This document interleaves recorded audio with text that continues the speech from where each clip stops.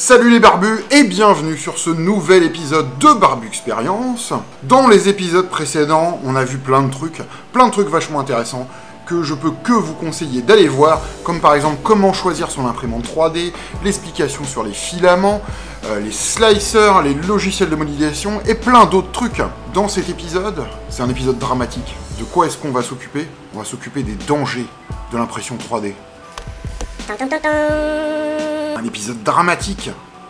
Oui, les dangers de l'impression 3D. Pourquoi cet épisode? Parce que ben, ce genre de petites machines, c'est des machines géniales, mais ça reste des machines.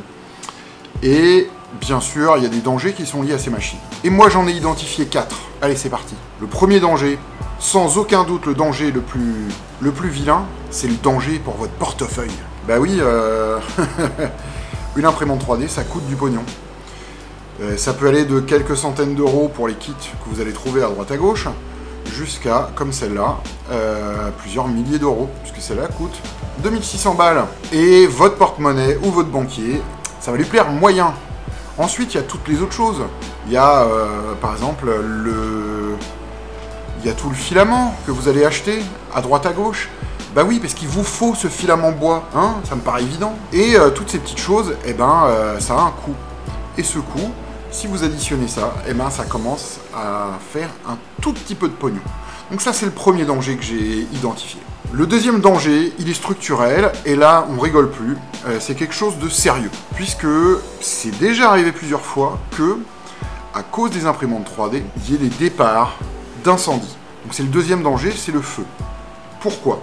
Je vais vous expliquer ça. Sur votre imprimante 3D, vous avez votre extrudeur, et votre extrudeur, il va avoir une buse qui va être chauffée entre 180 jusqu'à 230-250 degrés.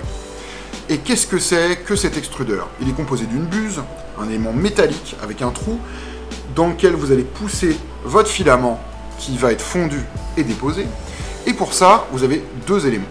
Vous avez une cartouche de chauffe et vous avez un capteur de température. Et sur en particulier les imprimantes euh, de génération précédente, si jamais, imaginons, votre cartouche de chauffe est pas bien tenue et tombe malencontreusement, l'imprimante, qu'est-ce qu'elle va faire? Elle va dire Ouh, je suis pas à 220 degrés ou à 210 degrés. Il faut que je mette plus de puissance sur ma cartouche de chauffe. Ce qui veut dire que votre capteur ici, votre euh, cartouche de chauffe est 10 cm plus bas, posée sur le plastique, et va commencer à chauffer de plus en plus. Elle va chauffer de plus en plus jusqu'à se faire cramer votre plastique, cramer votre imprimante, et je l'espère pas, cramer une partie de votre maison. Donc c'est un vrai danger. Vrai, vrai, vrai. Une des parades à ce danger, c'est avoir, comme pour ici, euh, la Sigma R17 ou d'autres, des buses nouvelle génération, enfin des extrudeurs nouvelle génération, où clairement il y a très très peu de chances que le capteur de température ou la cartouche de char ou la cartouche de chauffe se libère de son emplacement et puisse tomber. Ça peut arriver, mais c'est extrêmement rare. Et ça, c'est le deuxième danger de l'impression 3D, le feu. Donc faites attention.